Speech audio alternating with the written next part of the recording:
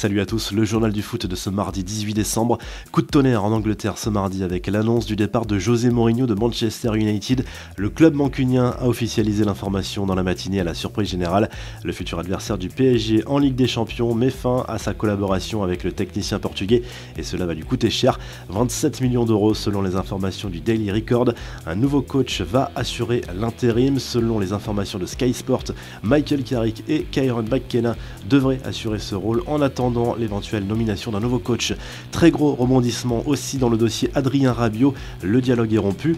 Le directeur sportif du PSG, Antero Henrique, a confirmé que le milieu de terrain français ne souhaitait pas prolonger son contrat et qu'il ambitionnait plutôt de quitter le club de la capitale en fin de saison. La direction parisienne, qui a fait plusieurs propositions à son joueur ces derniers mois, estime avoir été baladée. Première conséquence, Rabiot est écarté du groupe et ne rejouera plus sous le maillot parisien jusqu'à nouvel ordre. Un départ en janvier est désormais probable. Anthony Martial, lui, est désormais lié avec Manchester United jusqu'en juin 2020. Le club mancunien a levé une clause de reconduction automatique pour l'attaquant français, dont le contrat initial devait se terminer en juin prochain. Les Red Devils ont préféré assurer le coup en levant cette clause pour éviter de se retrouver finalement dans la même situation que le PSG avec Rabiot. Pour le moment, l'ancien monégasque ne souhaite pas signer un nouveau contrat avec Manchester United. Quelques infos en bref et en images, l'ensemble de la presse américaine l'avait déjà annoncé, mais cette fois c'est officiel.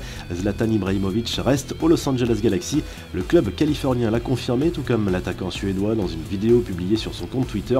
L'ancien parisien prévient qu'il n'en a pas fini avec la MLS. Memphis Depay, lui, s'est affiché en studio sur Instagram. L'attaquant lyonnais enregistre de nouveaux morceaux de rap dans lesquels il s'en prend directement à ses détracteurs. Antoine Griezmann a profité de deux jours de vacances accordés par l'Atletico pour se rendre aux États-Unis et voir un match du NBA.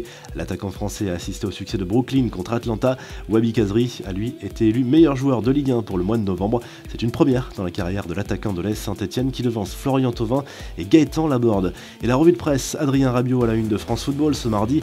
Le joueur de 23 ans va sans doute terminer son aventure avec le PSG par la petite porte. Le quotidien L'équipe revient sur le tirage au sort des huitièmes de finale de la Ligue des Champions et décrypte les futurs adversaires de Lyon et du PSG.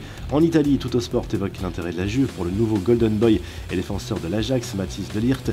En Espagne, As évoque le retour à venir de Cristiano Ronaldo dans la capitale espagnole à l'occasion des huitièmes de finale de la Ligue des Champions entre l'Atlético Madrid et la Juve. Vous retrouvez toute l'actu foot sur topmercato.com et à demain pour un nouveau journal du foot.